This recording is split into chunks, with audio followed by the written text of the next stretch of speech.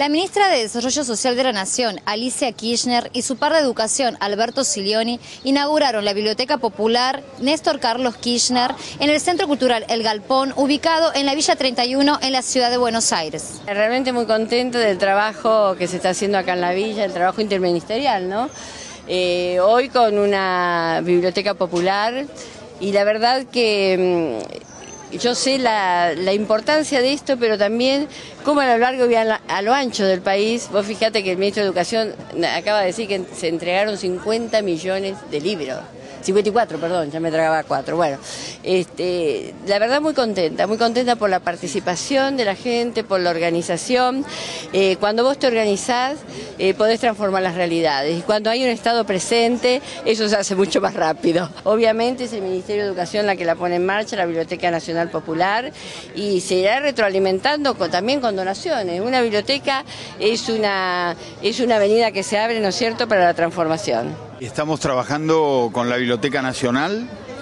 Eh, en este caso es un emprendimiento conjunto con la Biblioteca Nacional, aportamos libros, aporta libros la Biblioteca Nacional, aporta tecnología, nosotros también tenemos un, sistema de nuestra Biblioteca del Maestro que está trabajando aquí, es para toda la comunidad, eh, es también eh, una semana donde estuvieron presentes varias universidades, eh, difundiendo sus ofertas. Me parece que también ahí hay un valor muy interesante. La universidad por primera vez en la villa, varias universidades públicas este, acercándose a los sectores populares, diciéndole cuál es la oferta.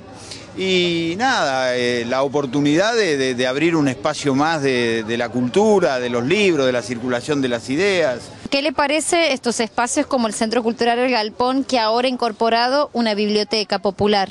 Eh, muy buenísimo, porque hay muchos chicos que no pueden salir afuera para buscar algún texto para el colegio, siempre se necesita. Me encanta a mí ir a la biblioteca cuando yo estaba en el colegio, muchísimo. Ahora por el trabajo no, pero igual me doy un tiempito para ir ahí a dar la vuelta. Acá hay muchos chicos que quieren aprender y es una, una posibilidad para que salgan también de las calles. Y bueno, yo soy una de esas, así que, se, distraigan. y no anden en cosas raras y bueno, eh, yo voy a ser una de las que va a venir, si Dios quiere, voy a venir.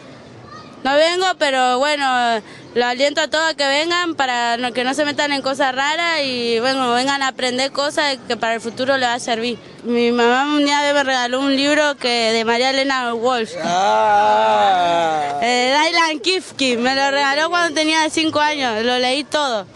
Hasta el día de hoy lo tengo. Eh, un gran libro, una gran escritora. Me parece muy bien y así pueden venir chicos a aprender a leer a poder hacer las cosas en la escuela y tienen que hacer un centro de música, así yo puedo enseñar rap.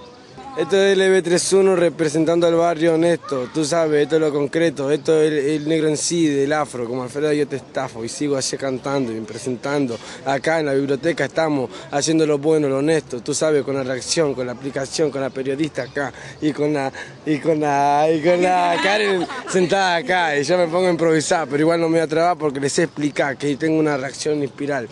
Yo quiero hacer lo que sea por la cultura argentina, esto Villa 31, la América Latina, tiro. Soy del barrio Punto Conde, salieron más rapero.